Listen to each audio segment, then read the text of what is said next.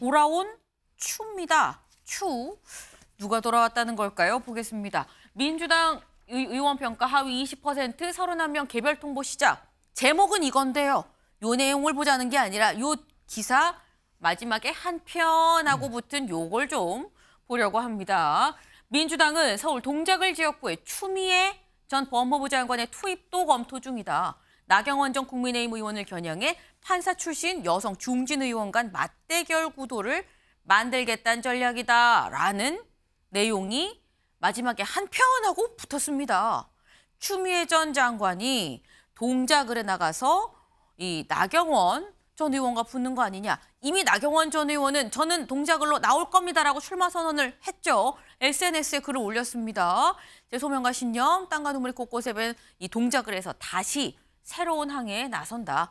지난번에도 나왔었어요. 그런데 이수진 의원이 됐죠.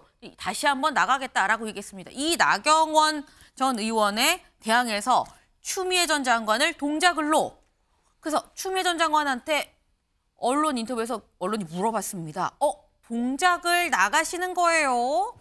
물었더니 전직 당 대표로서 합당한 역할을 당에서 고민하고 있지 않을까요? 라고 얘기를 했습니다. 그러면서 당과 계속 상의해가면서 제 역할을 찾아야 할 걸로 보입니다. 라고 얘기를 했습니다.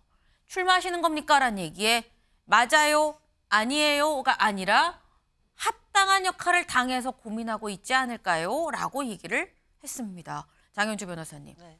나오는 겁니까? 사실 추미애 전 장관의 행보에 대해서는 저 답변 그대로 해석을 하면 될 것 같습니다. 음. 정말 당과 지금 또 논의는 어느 정도 이루어지고 있는 것 같다라는 생각은 들고요. 네. 다만 이제 기사상에서 나오고 있는 뭐 지금 동작을 검토하고 있다라는 부분들은 음. 사실 좀 더 확인을 해봐야 될 것 같습니다. 도대체 네. 어느 단위에서 어느 정도로 검토를 하고 있다는 건지는 좀 봐야 될 것 같은데 민주당 입장에서는 지금 시스템 공천을 하고 있기 때문에 뭐 추미애 전 장관뿐만 아니라 뭐 이재명 대표에 대해서도 모든 누구에게나 다 시스템 공천 잣대가 그대로 들이대집니다. 그렇기 때문에 당원 당규에 맞게 지금 그 음. 그 기준에 맞게 공천 신청이 이루어 이루어지고 또 공천이 진행될 것이기 때문에요. 사실 동작을 해서 지금 또 현역인 이수진 의원이 또 계시는 상황이기 때문에 네. 지금으로서는 여러 검토가 있다고 하더라도 조심스럽게 또 접근해야 되는 상황이다. 이렇게 말씀드리겠습니다. 시스템 공천 상으로 봐서는 뭐 사실 이게 결과가 어떻게 나올지 알 수가 없는 거다라는 말씀을 지금 하셨어요. 근데 김철현 의원님, 네.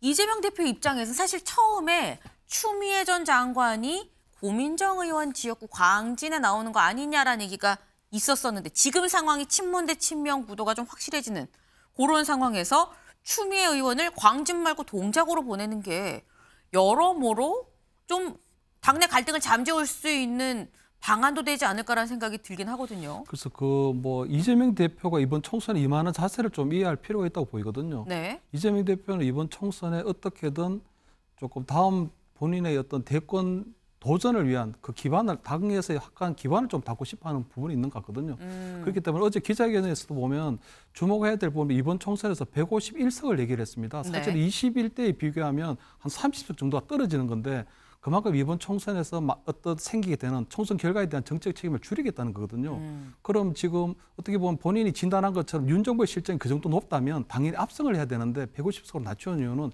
약간 엄살 떠는 것도 있겠지만 친명 뭐 친명 또는 뭐 친문 간의 어떤 공천 갈등 또는 음. 이낙연 신당에 따른 어떤 국민의힘 여부 지를 얻어서 조금 어느 정도 의석수를 못 받게 되더라도 거기에 대한 정책 책임을 줄이고 본인이 확실하게 이번 당을 이재명 당으로 만들겠다는 의지가 강하거든요. 음. 그 중에서 가장 큰 게 친문 지역인데 그 친문에서 가장 걸림돌이 되는 사람이 세 사람입니다. 네. 이게 이낙연 총리, 그다음에 임종석, 그다음에 음. 추미애 전 장관이거든요. 네. 그리고 이낙연 전 총리 벌써 이제 탈당을 했으니까 상관이 없고 네. 임종석 의원 같은 경우는 지금 찐명을 그 성, 중구 뭐 성동을에 투입해서 이제 배제를 하려고 하기 때문에 음. 제가 볼 때 추미애 전 장관도 본인은 이쪽 저쪽으로 옮겨 다니고 뭐 이래 여론 뭐 이런 매드볼론 뛰어보고 하지만 제가 볼 때 결국은 이재명 대표가 가장 걸림돌이 되는 다시 말해서 이번 총선이 지나고 난 다음에 뭐 어떤 전당대회라든가 다음 대권 도전에 음. 있어서 친문의 구심점이 될 수 있는 사람들은 이번에 다 파내지 않을까. 음. 이번에 아마 공천에서 다 배제하지 않을까. 그러니까 추미애 전 장관도 본인의 어떤 의도나 의지하고는 상관없이 음. 이재명 대표로부터 어떤 뭐 수용되는 그런 결과를 얻지는 못할 것이다 이렇게 보입니다. 근즉 말씀은 추미애 전 장관도 결국 친문 대항마가 될 수 있는 지역으로 가지 않겠느냐라는 건데 이수진 의원을 친문으로 분류하진 않지 않나요? 그럼 동작 말고 다른 데 갈 것이다. 그래서 이수진 그 의원 같은 경우는 오늘 뭐 여러 가지 뭐 블랙리스트 관련해서 본인이 전혀 없었는데 약간 피해자 코스프레 그런 것 같이 있었기 때문에 아마 그런 부분들도 이번 공천 과정에서 음. 반영되지 않을까. 그러니까 아마 저기도 아마 제 생각에는 민주당에서 어떤 우선 전략 지역이나 이런 다른 형태로 조금 변경되지 않을까 그래 보입니다. 아 서재현 위원장님 네. 어떻게 보십니까? 어. 추미애 전 장관 동작 갈 거라고 보세요? 다른 지역으로 갈 거라고 보세요? 어, 갈 수도 있고 안 갈 수도 있고요. 근데 지금 여론조사나 지지도를 보면 민주당 관계자가 분명히 말씀드렸어요. 이게 음. 당에서 주체적으로 할 수도 있고 사실 음. 저도 그렇지만 선거를 하게 되면 후보자가 인지도를 높이기 위해서 할 수도 있고요. 그리고 좀 그렇지만 다른 주체들이 많기 때문에 어떤 주체로 어떤 의도를 하는지 모른다. 그러나 음.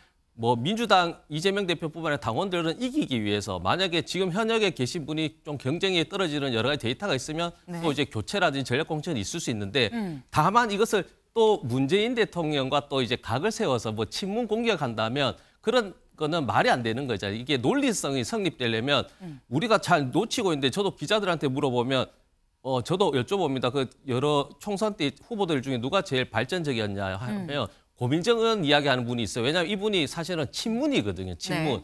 그러니까 대통령의 어떤 대변인을 역할을 했는데 음. 그런 역할이 아니고 본인의 정치로 해서 성장을 많이 했다고 하면 만약에 음. 친문에 대항마면 본인의 광진을 오선입니다. 우리 추미애 장관께서. 그럼 네. 그 지역에 가는 게 맞는 것이잖아요. 음. 근데 그러면 그 논리면 그러면 친문의 대항마는 아니잖아요. 그래서 저는 반윤이라고 하면 맞습니다. 반윤. 반윤을 위해서 이기는 공천을 위한 후보 공천이나 그런 음. 시스템을 통해서 전략이라든지 데이터를 쌓는 과정은 맞지만 이것이 뭐 친문 그리고 뭐 반문, 뭐 반, 반명, 비명에 대해서 속아내기 위한 어떤 과정은 절대 아니라는 말씀을 꼭 드리고 싶습니다. 음. 일단 추미애 전 장관이 친문 대항마보다는 반윤 대항마가 더 그렇죠, 맞는 거 네. 아니겠느냐라는 말씀을 하셨어요. 그래서 반윤 대항마로 해서 그래서 동작을에 갈 것이냐 말 것이냐 여부는 그렇다고 하면 사실 동작을이 또 아닐 수도 있는 부분이기도 합니다. 그 여부는 좀 계속 좀 지켜봐야겠다 싶은데 근데 동작에 원래 지역구 의원이 있죠. 이수진 의원이 있습니다. 이수진 의원. 아까 말씀 중에 나왔어요. 오늘 이런 기사가 나왔습니다. 블랙리스트 판사라던 이수진의 거짓말이라는 얘기예요. 이거는 기자 수첩입니다. 기자의 시각으로 이 해당 기자의 지금 시각으로 지금 쓴 얘기인 건데 블랙리스트 판사라고 이수진 의원 처음에 민주당에 입당하면서 얘기를 했다라는 거죠. 그런데 요 얘기가 다시 왜 회자가 되냐. 최근에 양승태 대법원장이 이 관련 혐의 47개 혐의가 다 무죄가 나왔습니다. 양승태 이 대법원 산하에서 내가 블랙리스트에 올랐다라고 얘기를 했는데 어? 양승태 대법, 전 대법원장 다 무죄인데? 그럼 어떻게 된 거야? 라고 다시 조명을 받게 된다는 거죠. 이걸 좀 보겠습니다. 수사에 나선 검찰이 확보한 2013년부터 2017년 법원 인사 불이익 문건에는 이수진 판사의 이름이 없었다. 검찰이 작성한 양 전 대법원장 공소장에도 인사 불이익을 받았던 판사 10여 명의 이름은 있었지만 여기에도 그는 없었다. 라는 겁니다. 어, 어떻게 된 거지? 그래서 언론이 이수진 의원한테도 물어봤습니다. 이수진 의원 뭐라고 얘기를 했느냐? 법원 행정처에서 은밀하게 작성 관리한 명단이 그것만 있었던 게 아니다. 라고 얘기를 했어요. 그러면서 나는 그 인사모라는 이 인권보장 사법제도 소모임 그 최초 주도한 판사들 명단에 있는데 거기에 내가 들어가 있었다라고 얘기를 했습니다. 근데 그렇다고 하면 김윤영 대변인님 네. 이게 다른 리스트가 있는데 일단 검찰 조사에는 이 리스트가 안 들어갔다는 거거든요. 네. 검찰이 잘못한 겁니까?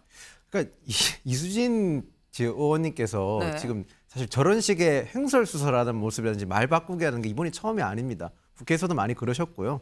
그리고 제가 아까 말씀 앞부분에 말씀드린 것 중에서 동작을이 지금 왜 저렇게 음. 화두가 되고 있냐면 과거 예전에 여론조사 나왔던 거 보면 이수진 의원이 동작을 지역구가 민주당 당 지지율이 국민의힘보다 높음에도 불구하고 이수진 의원 개인 지지율은 나경원 의원보다 낮기 때문에 그런 게 그런 적이 있기 때문에 그런 거지. 음. 특별하게 뭐 동작 뭐 추미애 의원 전략 공천 그게 아니라 동작을이 어렵기 때문에 네. 그렇게 된 거라고 말씀드리겠습니다. 네. 아, 아까 이수진 의원의 개인 역량이 지금 여론조사상 나쁘게 나오는 것 아니겠느냐라는 추측, 추측이에요. 네. 음, 데이터가 있는 건 아닙니다. 추측입니다. 그래서 그런 얘기까지 나오는 거 아니겠냐라는 말씀을 주셨네요. 네. 저희가 준비한 소식 오늘 여기까지입니다. 오늘도 좋은 하루 보내세요.